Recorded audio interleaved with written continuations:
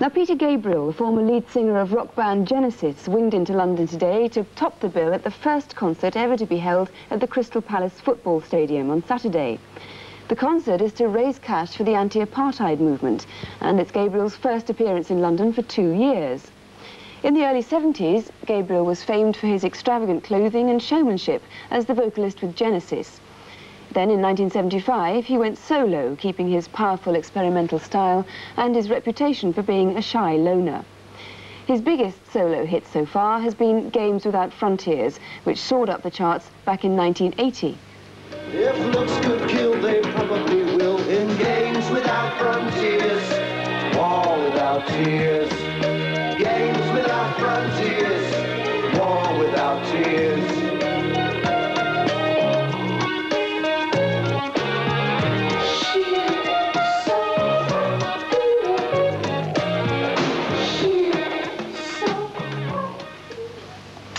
Three years later, he's released five solo albums and eight singles altogether, containing many songs with a social message.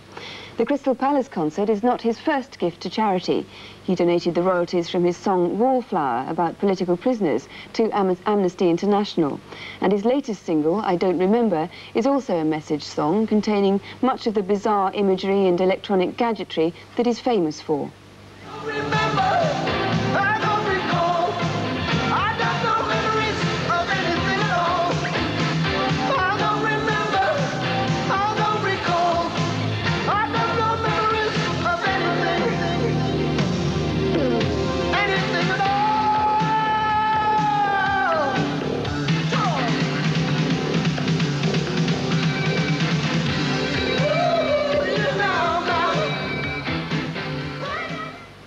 Well, Peter Gabriel's here with his Italian tan. Why haven't you played in London for so long? Why has it been two years?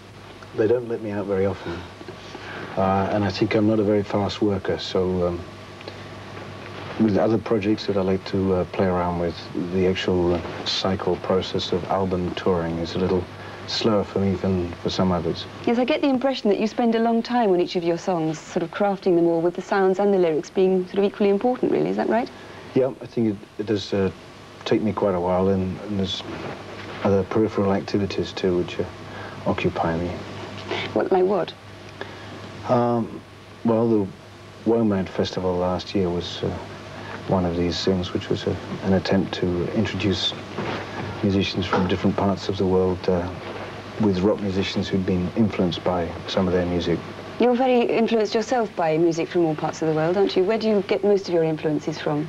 Well, firstly, uh, I have no pretenses about playing African music or any other type of music. I, I think of myself primarily as a European musician, but there are some uh, rhythms, for instance, just patterns which I can steal and program into my rhythm machine and then try writing stuff around it. And rhythm is like the spine of a piece of music, and the body that forms around it uh, will vary according to the shape of the rhythm pattern mm. uh, that you start with.